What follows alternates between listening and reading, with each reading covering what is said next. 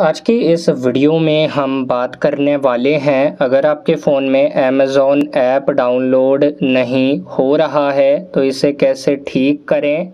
तो डाउनलोड करने पर अगर आपको पेंडिंग या फिर किसी और टाइप की प्रॉब्लम, एरर आ रही है तो इसे ठीक करने के लिए यहाँ से बाहर आइए। उसके बाद अपने फ़ोन की सेटिंग्स ओपन करिए।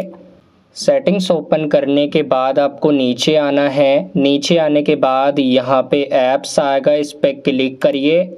उसके बाद ऊपर मैनेज ऐप्स आएगा या फिर ऐप मैनेजमेंट आएगा या फिर मैनेज ऐप्स आएगा। जैसे कि हमारे फ़ोन में ऐप मैनेजमेंट आ रहा है तो इसे आप ओपन करिए। उसके बाद आपके फ़ोन के सारे ऐप यहाँ पे आ रहे हैं।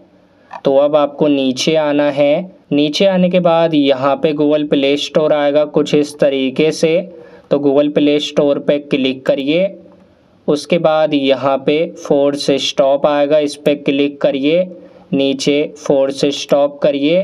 तो इसे फोर्स स्टॉप करने के बाद अब आपको नीचे आना है। नीचे आने के बाद स्टोरेज आएगा या फिर स्टोरेज यूसेज आएगा। तो इस पर क्लिक करिए। उसके बाद क्लियर डेटा आएगा। तो यहाँ पे क्लियर डेटा करिए, उसके बाद ओके करिए।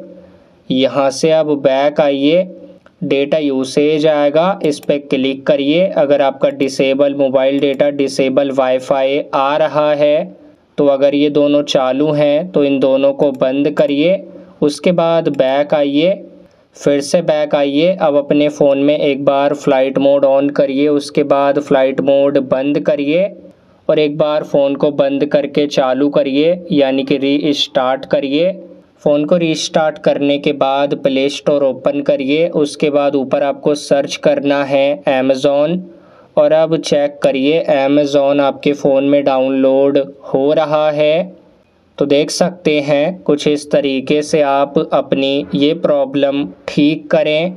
वीडियो अगर आपको पसंद आई तो इस वीडियो को लाइक ज़रूर करें।